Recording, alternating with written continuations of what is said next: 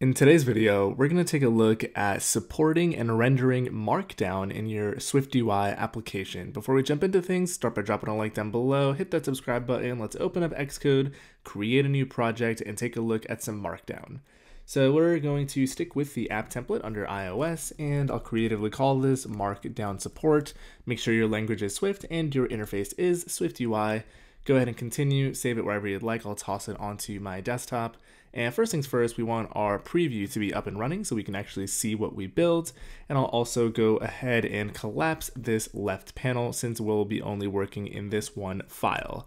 So as soon as Xcode decides to get his life together and load the preview, we'll talk about Markdown. So if you're not familiar, Markdown is this incredibly common standardized way to write, uh, you know, text and format it. It's used on GitHub, IDEs, READMEs, a bunch of other mediums.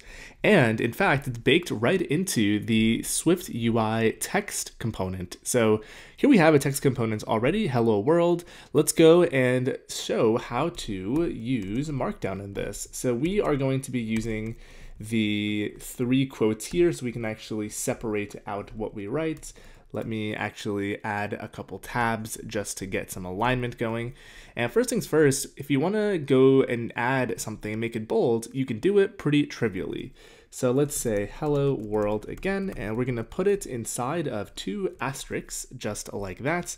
And if you take a look on the left, you will start to see that it is bold. Now let's actually go and get rid of some of these tabs because it is pushing over our text in a weird looking way. So let's actually put it back here again. And let's see, it's saying insufficient string literal content must begin with, let's see what this is yelling at me about and it must begin on a new line. Okay, let's see. There we go. Looks like it's yelling at me about that. So here we are. So we now have hello world on the right hand side. Now let's actually continue with this and say hello world.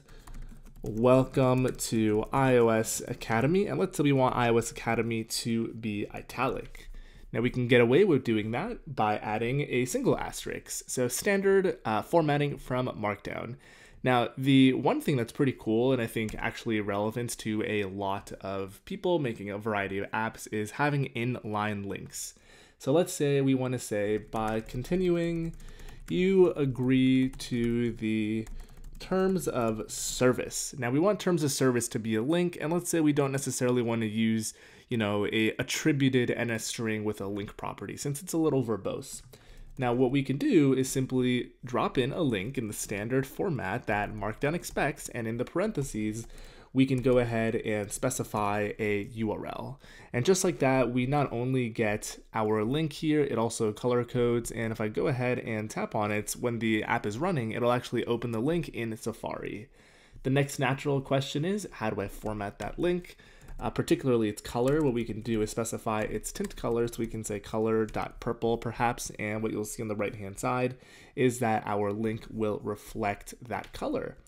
So that's basically all I had for you guys today. Super short and trivial video. It's really amazing actually the fact that you can use Markdown directly in this. Uh, it makes your formatting life a whole lot easier.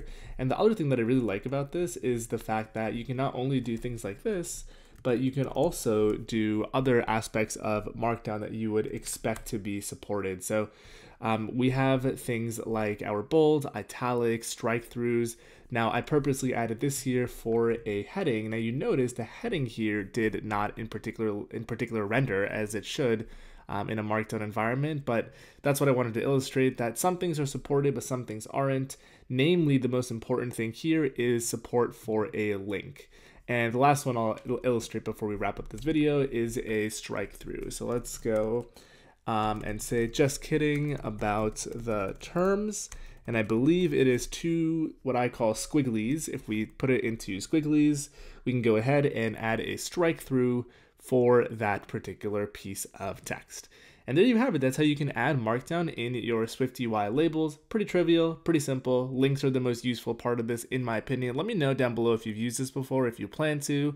If you have any video suggestions, drop a like before you click away. Hit subscribe if you're new here. Connect on all the socials, Twitter, LinkedIn. You guys know the drill. Thanks again for watching. I'll catch you on the next one.